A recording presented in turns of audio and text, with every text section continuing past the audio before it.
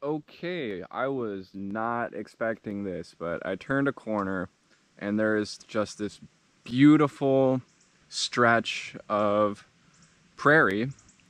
Uh, but there's this, it's this strange clearing, must be 30 or 40 feet across between the trees, and it just goes all the way down.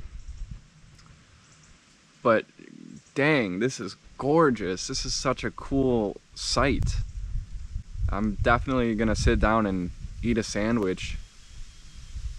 Nothing special this week for sandwiches. I have some store-bought bread and just peanut butter. it's like the most plain sandwich I've had in the last year. But uh, yeah, I can see pretty far out above the trees. Gorgeous. This is this is worth coming to Castle Rock State Park just to see this site. Just to get this view.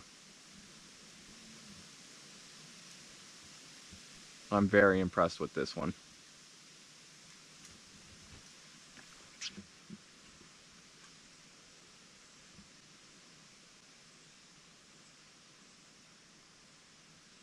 This is the wildlife viewing trail about halfway through.